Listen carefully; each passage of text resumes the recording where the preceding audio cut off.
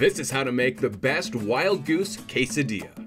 Goose legs have got to be one of the most underutilized and misunderstood pieces of wild game meat out there.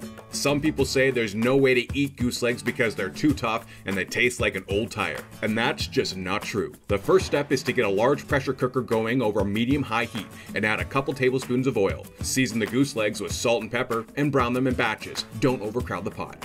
After browning, turn the heat down to medium and add some more oil and red onion. Cook for several minutes, stirring often. Then add the garlic and cook until fragrant about 1 minute. Add the tomato paste, stir well to combine, and cook for an additional couple minutes. Finally, add the remaining ingredients apple cider vinegar, lime juice, chicken stock, taco spices, and chipotles and adobo sauce. If you want a medium to hot spice, add the whole can, or add a quarter for just a touch of spice. Mix everything up really well and add those goose legs back to the pot and mix again. Let everything warm up a bit before placing the lid on. Lock the lid on the pressure cooker and once it comes to pressure, turn the heat down to low. Allow the meat to cook undisturbed for an hour and a half. Once done, carefully release the pressure from the pot. Remove the legs and let them cool down a bit. Once cooled, it's time to shred. What'd we tell you, that tough meat has broken down during the pressure cook and now it's fall off the bone.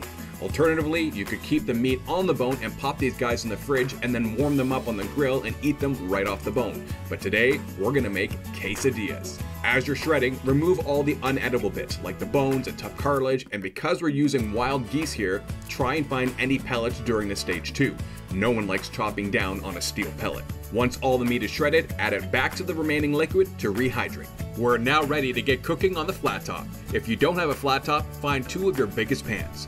Set your heat to medium and add some oil. On one side, get some peppers, onions, and corn cooking and add some taco seasoning. On the other side, throw some shredded meat down. What we want to do is get some nice crispy layers on the meat as it warms up, and this will also give us some extra flavor.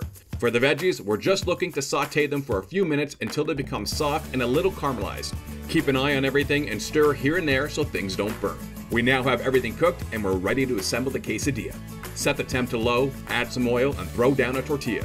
Top with some shredded manchego cheese, then add some crispy pulled goose, followed by the sauteed veggies and another handful of cheese. Top with another tortilla and squish everything down a bit. Cook on each side for a few minutes just until some nice browning develops. And there you have it, pulled goose quesadilla.